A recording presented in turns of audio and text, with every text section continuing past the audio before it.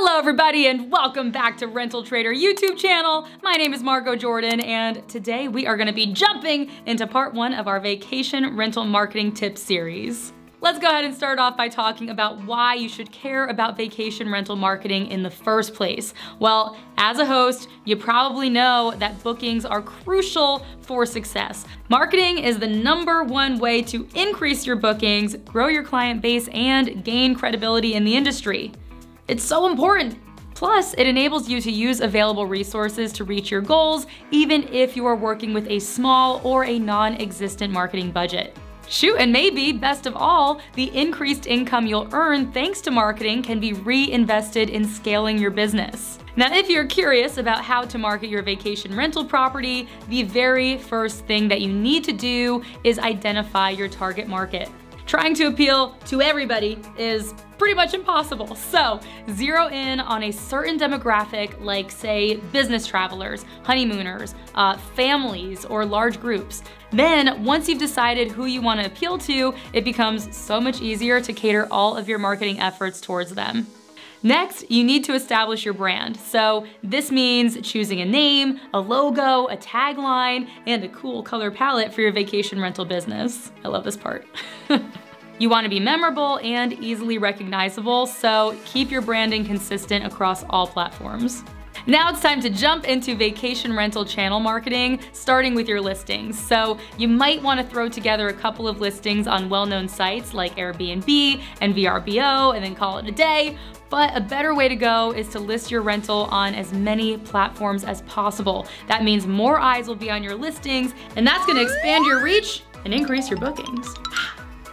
Not only should you hit all of the large online travel agencies, but it is really smart to list your rental on smaller sites like rentaltrader.com, which is our site, and other niche sites where you'll have far less competition. You can be the grand poobah of Rental Trader. You can also list your property on local sites, meta search engines like HomeToGo and Google, and you can do this by becoming a Google Vacation Rentals partner and creating a Google business profile.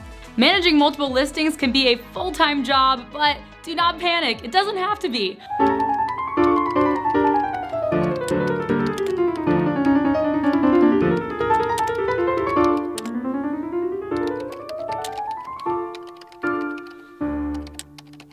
All you need is a channel manager or a property management system to combine your calendars and keep everything organized.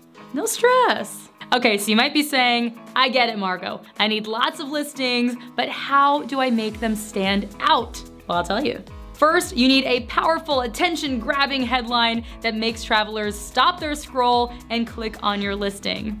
Now, I don't wanna see any boring two-bedroom house in San Diego listings, okay? Try highlighting a special amenity or mentioning a nearby attraction.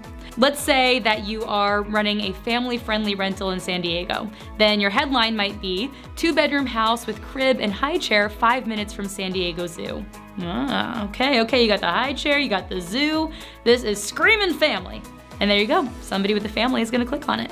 You're also gonna need some beautiful, high quality photos, preferably taken by a professional photographer to showcase everything your property has to offer.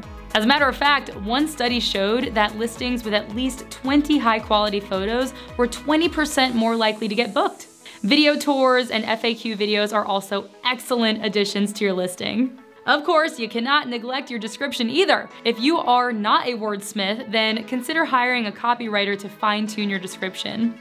If you're writing it yourself, then choose words carefully to really paint a picture of the experience that guests will have at your rental. Oh, and do not forget to cover all the house rules and other important information as well, and proofread before you post. I don't wanna see any grammatical issues and, and spelling errors. That shows you didn't pay attention to detail, and that might be a reflection of your rental property, which it probably isn't, but maybe it is, so proofread. Pricing also impacts how well your vacation rental performs. We highly recommend using a dynamic pricing tool like AirDNA to optimize your prices. And finally, make sure to keep your listings updated and accurate. An inaccurate listing can lead to negative reviews and you do not want that because having lots of five-star reviews on your listing is sure to drive bookings. To get five-star reviews, you have got to provide a five-star experience. This means having a great response time when you get messages, and you can actually automate this with your property management system, ensuring a smooth check-in and checkout process, and being friendly and adaptable.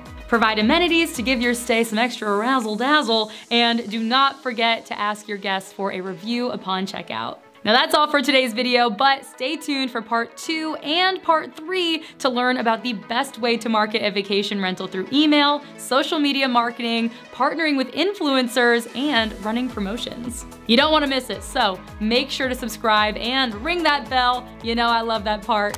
Give us a thumbs up below and let us know that you want to hear more info on vacation rental marketing. I know you're loving this video so far. Go to part two, it's gonna be great. Um, also, before I go, do not forget to list your vacation rental on Rental Trader. It's free, it's easy. We only charge 4.5% per booking, not 14% or more like some other listing platforms. It is the best. Also, be sure to check out our blog for vacation rental hosting and traveling insights. Until next time, stay safe, stay positive, and say yes to adventure.